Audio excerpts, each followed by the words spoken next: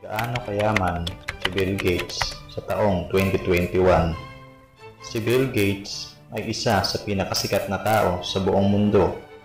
Sino ba naman ang hindi nakakakilala sa kanya? Mula pa taong 1987 ay kasama na siya sa listahan ng pinakamayamang tao sa buong mundo. Hawak ni Bill Gates ang record bilang pinakamayamang tao sa buong mundo sa loob ng maraming taon. Taong 2018 lamang nang siya ay malampasan ni Jeff Bezos bilang pinakamayamang tao sa buong mundo. Ito ay sa kadahilan ng mas pinagtuunan ni Bill Gates ang kanyang mga philanthropic na gawain o pagtulong sa mga tao. Kilala rin kasi ito bilang isa sa most charitable person in the world. Pinamumunuan ni Bill Gates ang pinakamalaking foundation sa buong mundo, ang Bill and Melinda Gates Foundation.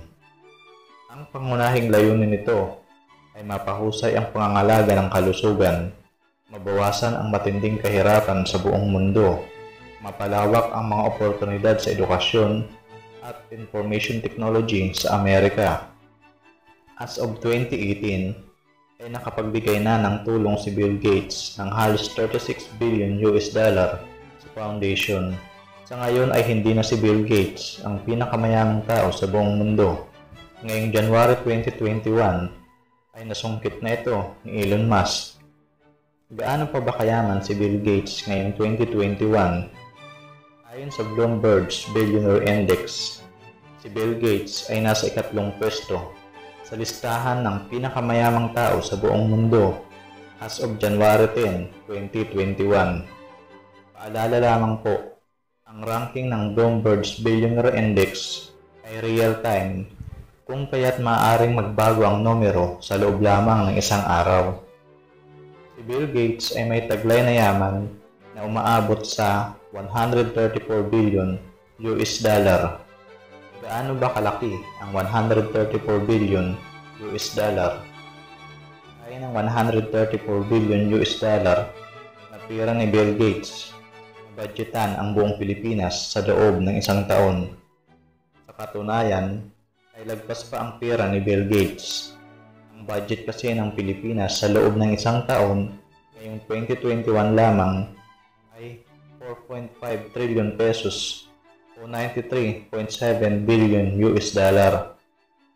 Kaya rin itong bayaran ang mahigit kalahati ng buong utang ng Pilipinas na umaabot na sa 10 trillion pesos o 208 billion US dollar. Kaya rin ng pera ni Bill Gates na bilhan ang halos 110 million na Pilipino ng tigi isang iPhone na nagkakahalaga 58,000 pesos. Higit na mas mayaman pa rin si Bill Gates at hindi aabot sa kalahati ng yaman niya kahit pagsamahin pa buong yaman ng top 20 richest Filipinos. Higit na mas malaki rin ang kayamanan ni Bill Gates para sa gross domestic product ng mahigit sa 113 bansa sa buong mundo. Ganito kayaman si Bill Gates at take note, ang number 3 lamang po siya sa pinakamayaman sa buong mundo. Ngayon ay alam nyo na kung gaano kalaki ang pera ni Bill Gates. Sana all na lang talaga. Hanggang dito na lamang ang kwento na ito. Kalimutang mag-subscribe para updated ka sa mga video na puno ng aral at kaalaman. Hanggang sa muli, maraming salamat sa panonood.